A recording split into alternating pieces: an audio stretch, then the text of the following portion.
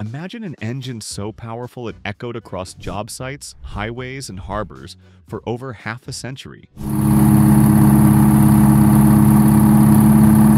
The Detroit Diesel 8V71 wasn't just loud, it was legendary. But behind that unmistakable scream was an engine with problems that wouldn't go away. From relentless oil leaks to heat buildup that cooked it alive, the 8V71 was worshipped by some and cursed by others. This is the story of an icon that ran hot, in every sense of the word. Some say it was overbuilt, others say it was doomed from the start. The Detroit Diesel 8V71 still stirs arguments wherever diesel heads gather. It's loud, leaky, unforgiving, and unforgettable. Over the past few months, I've heard from dozens of mechanics, truckers, veterans, and engineers who use this engine in the real world.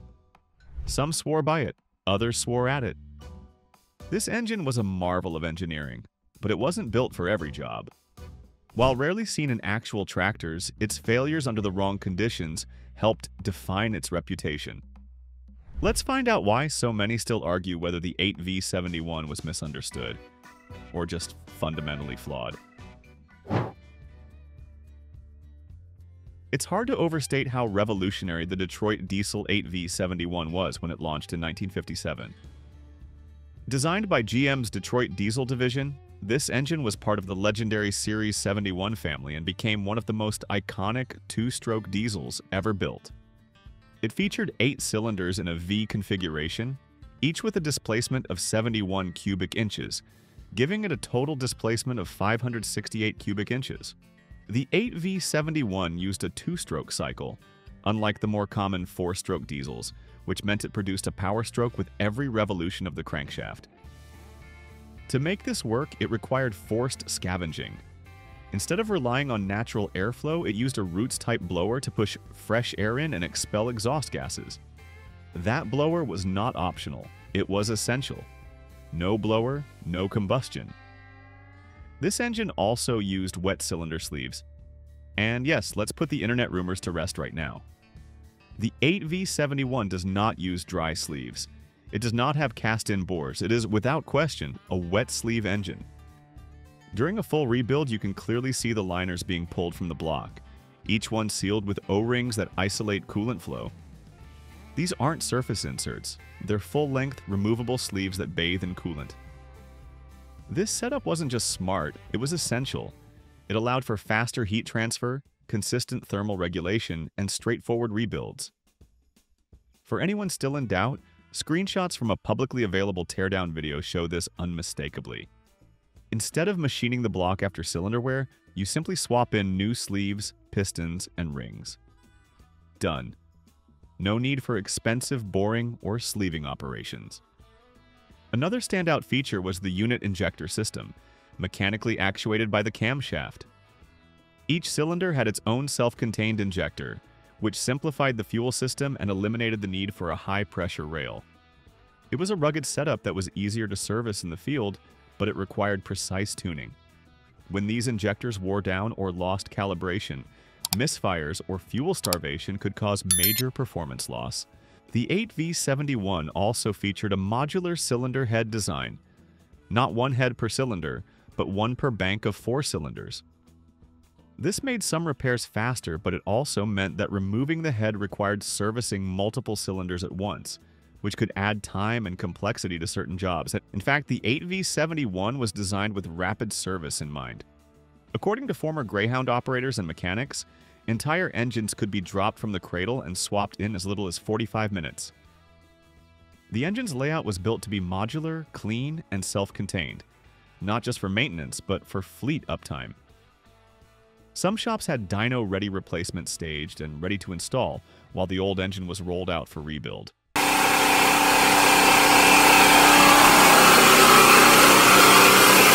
The lubrication system was another highlight. Gear-driven oil pumps pushed oil through filters and coolers to keep the internals lubricated and cooled.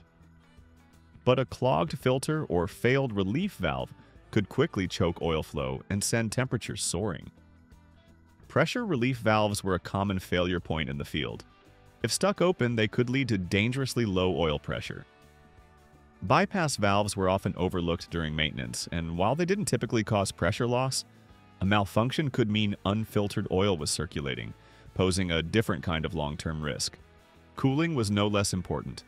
Coolant flowed through the block, heads, and oil cooler. In marine applications, fresh or seawater systems powered by external pumps kept temperatures down. Without frequent flushing and cleaning, scale buildup in coolant passages could lead to hot spots, warping, and catastrophic failure. Compression ratios were tight, 17 to 1 on standard models and 18.7 to 1 on N-series versions. Main bearing cap bolts were torqued between 165 and 175 pound-feet, and liner to block clearances ranged from 1.5 thousandths of an inch when new to a 2.5 thousandths wear limit. These weren't forgiving tolerances. They demanded precision and discipline in maintenance. The electrical system rounded out the package with rugged starters, alternators, and relays built to handle cold starts and long duty cycles.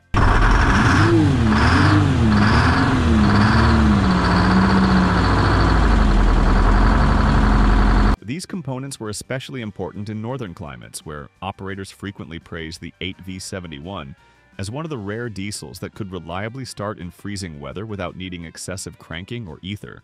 Simplicity and durability were consistent across every system. It was durable, powerful for its size, and designed to run flat out at high RPM. Later versions were available with turbochargers, which increased power and efficiency by improving airflow into the blower but they did not replace the blower or directly handle scavenging themselves. Even turbocharged 8V71s still relied on the roots blower for scavenging. That function is critical to the two-stroke cycle. The turbo acted more as a precompressor, feeding higher pressure air to the blower to enhance volumetric efficiency. These turbo models required different tuning, often had upgraded injectors, and were sometimes paired with aftercoolers, giving them a distinct performance envelope from their naturally aspirated counterparts. But as we'll see, that design philosophy came with trade-offs.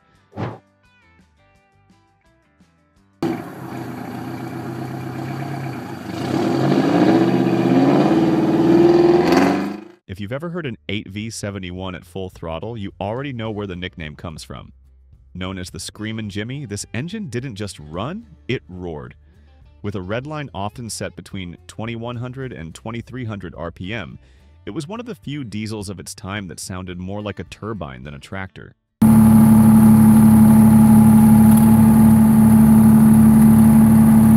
That howl came from the combined mechanical symphony of its two-stroke cycle, roots blower, and high-speed valve train all moving at blistering speed compared to traditional four-strokes.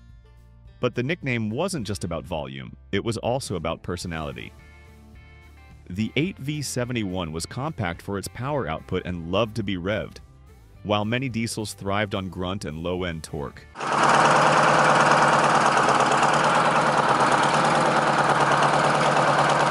The Jimmy came alive at the top end. That made it a favorite for operators who valued responsiveness and punch especially in fire engines, transit buses, and boats where throttle changes were constant. Its modular, field-serviceable design only added to its reputation. Mechanics could swap out heads, injectors, or even entire cylinder kits on site with relatively simple tools. And in turbocharged variants, the increased airflow made the scream even sharper, turning heads and splitting ears at every throttle pull. Besides, but that's Detroit for you. It was an engine that made no apologies for being loud, proud, and mechanically aggressive. In an era of slow, thumping diesels, the Screamin' Jimmy was a mechanical rebel, and everyone knew when one was coming.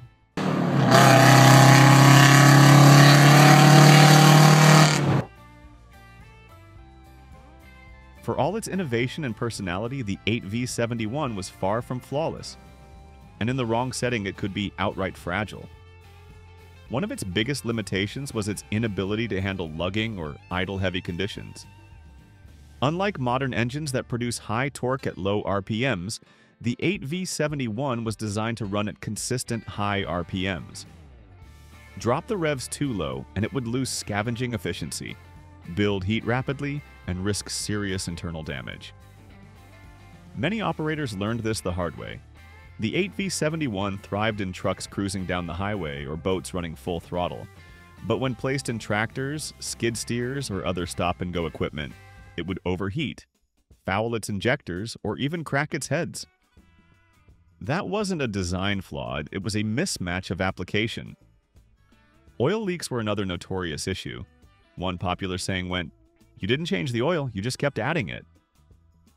Valve cover gaskets, blower seals, and airbox drains often weeped or outright sprayed oil after only moderate wear. While not catastrophic, it created dirty engine bays, environmental messes, and frequent top-offs. Another Achilles heel was heat management. Poor maintenance, like ignoring clogged coolant passages or failed thermostats, often led to warped heads and scorched pistons. The two-stroke design created more heat per revolution than a comparable four-stroke, and when airflow or cooling faltered, it didn't take long for damage to set in. In the field, common problems included valve cover leaks, blown liners, and excess crankcase pressure. When liners wore unevenly or rings failed, blow-by would build up in the crankcase, stressing seals and fouling filters. Mechanics often faced these issues in fleets that skimped on preventative maintenance. What compounded all of this was that the 8V71 was often installed in equipment it was never meant to power, in farming applications especially, where engines idle, lug, and run under varying loads, it failed quickly.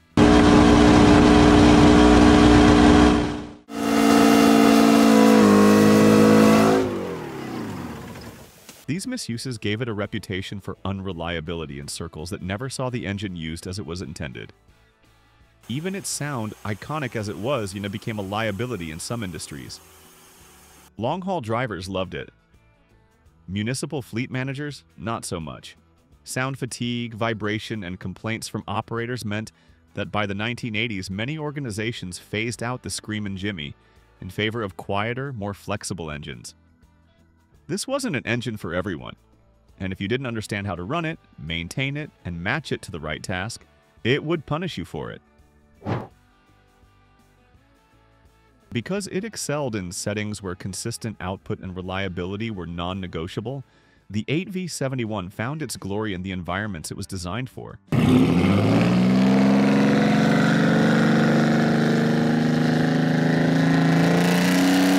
At sea level, under load, and turning high RPMs all day, the engine was nearly unstoppable.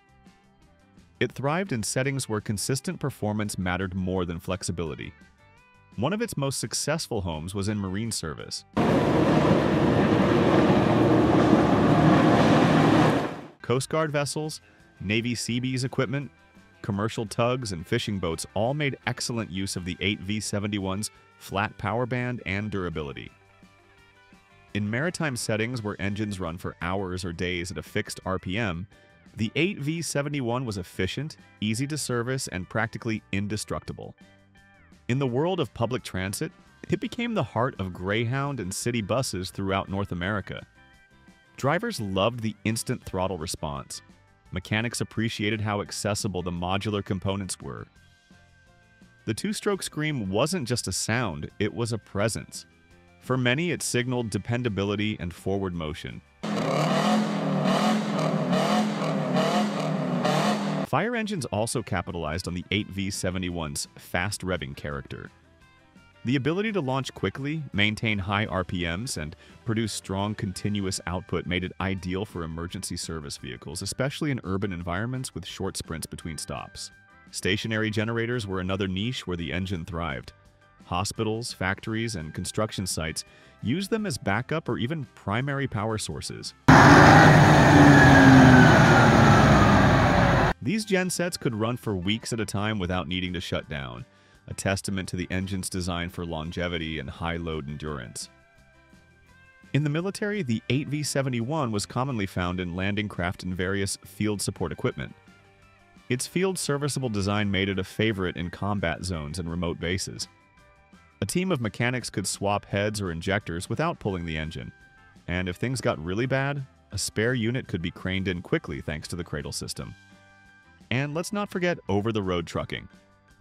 In the 1960s and 70s, countless long-haul drivers swore by the 8V71. With careful tuning and strong gearing, These engines pulled their weight across the country. When they were healthy and matched to the right transmission, they could chew through miles and mountains with ease.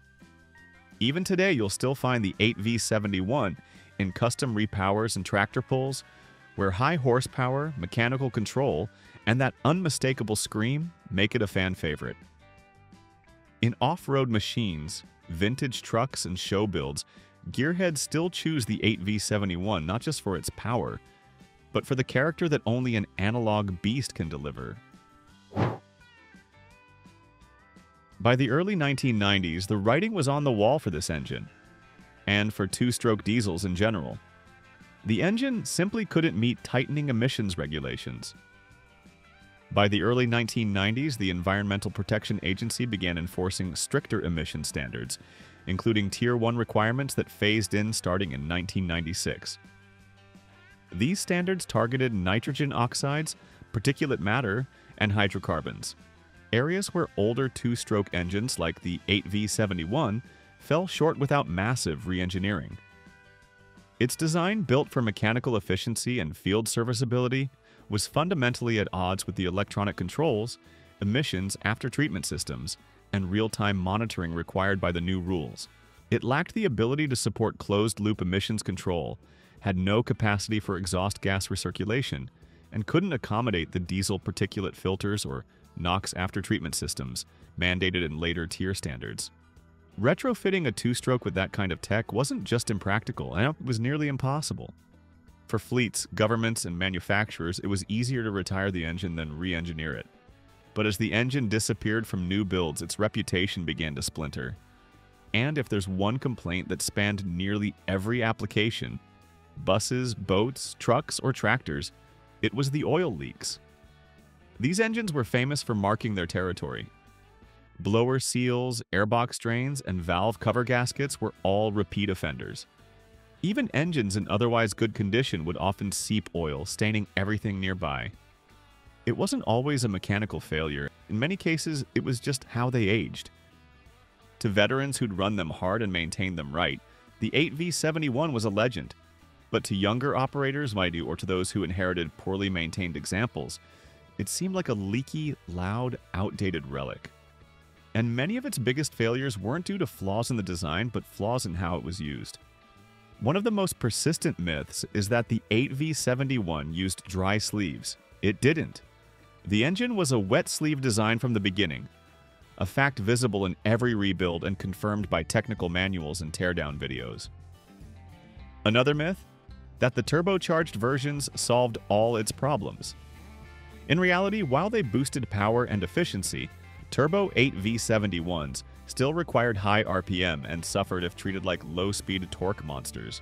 People also tend to speak of the 8V71 as if it was a single consistent product, but the reality is more complex. There were naturally aspirated and turbocharged models, marine and land-based variants, different injector ratings, compression ratios, and tuning profiles. Not all 8V71s behave the same, and generalizing leads to confusion. What killed the 8V71 wasn't one big flaw. It was a shifting world, one that moved toward cleaner air, quieter streets, and engines that could communicate with computers. The 8V71 had none of that. It was a product of its time. And when the world changed, it didn't.